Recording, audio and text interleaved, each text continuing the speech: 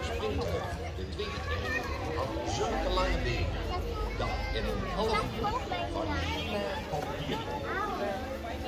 De liefde had zo'n grote buik dat je meer dan lange ladders nodig had om hem overheen te vertrekken. Zijn naam was Hoevelbuik, de vier hogelonden. Hoe steeds verder zijn, want zijn ogen waren zo sterk dat alles stuk sprong waar hij. De vijfde was een wonderlijke kerel. Die, hoe warmer het werd, hoe kouder vond. Hij dan ook Koper. En de zesde, die kon zijn nek zo lang uittrekken dat hij alles op zich was op de wereld. Daar was naam. De prins werd erg verdrietig. Want hij dacht, ach, dat lukt me nooit om de prinses in een kwartier hierheen te halen. Maar hij had niet op springkuit genoten. Zette de prins vlak op zijn rug.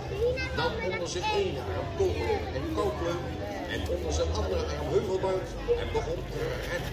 Zo hard dat Puttoor hem na drie tellen al niet meer ziet. Na een paar minuten waren ze helemaal aan de andere kant van het land. Doch een adem verspreidde hem door. Tot ze aan een grote rots kwamen waar ze niet verging.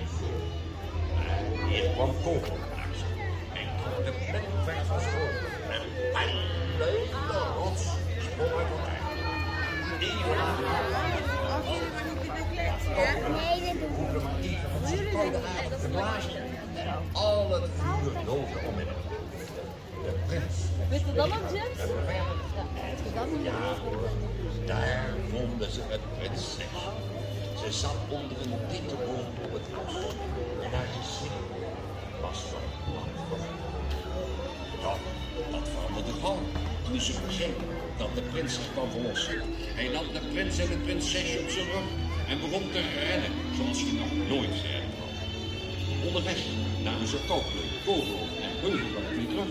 En toen waren ze in een oogwenk weer bij het paleis.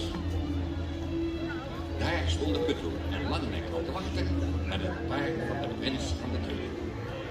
Wat was die valse boos toen ze zag dat de prins binnen een kwartier op de prinses terug was. Ja, maar ze moesten dan vinden dat ze de prins, dat de prinses dan ook voor zich op zijn paard. En toen reden ze naar zijn land en springt uit naar de heuvel.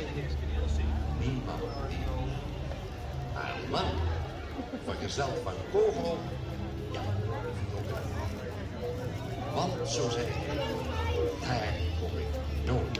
En nooit.